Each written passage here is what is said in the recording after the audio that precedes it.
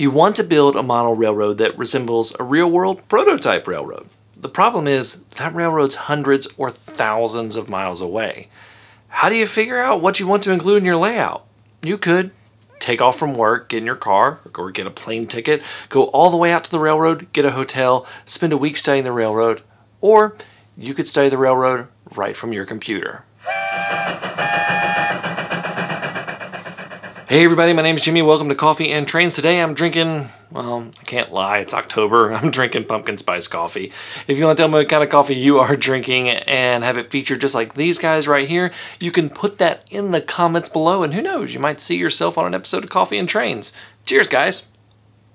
Technology is awesome. We can scout an entire rail division or an entire railroad right from the comfort of our home. Here are some useful resources for doing just that. Number one is Google Maps. Now, that one's kind of obvious. We all know about Google Maps. But Google Maps is invaluable in terms of being able to see where a rail line goes. And then if it's close enough to a road, we can use Google Street View to see what it's like there. You can get details as such what grade crossings look like? What scenery should it resemble? What does the signage look like on or around the railroad? Plus, you can traverse hundreds of miles of a rail line in a matter of seconds. You can skip over the sections you aren't going to model and focus on towns or industries that you will model.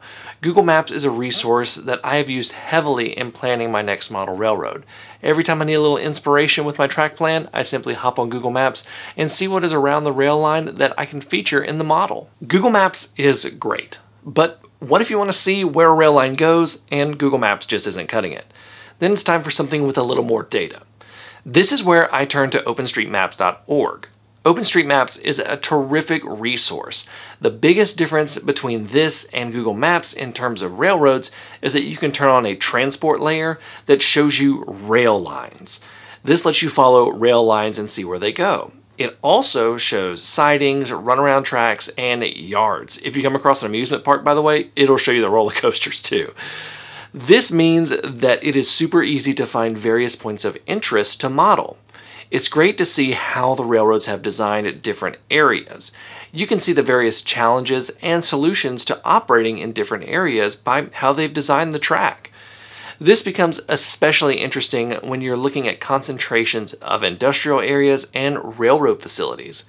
Being able to count sidings and tracks like in this industrial area or see a yard setup like this Norfolk Southern Linwood yard right here.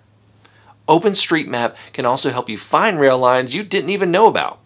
I've been consulting OpenStreetMap while designing my new Yadkin Valley Railroad layout. It has helped me in honing in the exact track plan by figuring out the industries and their track needs. OpenStreetMap is a phenomenal resource for track planning. Next is a bit of a different resource one of the coolest things that has come about in the age of the internet is live streaming, which has brought us to Virtual Railfan. Virtual Railfan is a website and YouTube channel with dozens of live streaming cameras at various points on different rail lines in North America. You can watch trains live as they come through these different locations. You can see what the actual trains going through the areas you want to model look like. Virtual Railfan has become so much more than just live stream cameras. They offer paid memberships and allow for custom setups of various streams. So if you want to watch multiple cameras simultaneously, you can do that. They even have a streaming service, VRF.tv, that has over 200 productions you can watch. These include old archival videos of railroads that don't exist anymore. So you can do research on fallen flags that you may want to model. Virtual Railfan is a great resource for prototype modeling. No, they did not sponsor this video.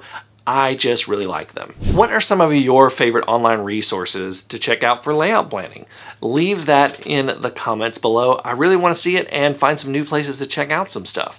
Thank you guys so much for watching. If you haven't checked out my other new channel, Jimmy's Trains, you can check that out right here. You can also check out this video right here as well. Thank you all so, so much for watching. Until next time, I'm Jimmy from the DIY and Digital. Stay safe, be kind, drink some coffee, and happy railroading.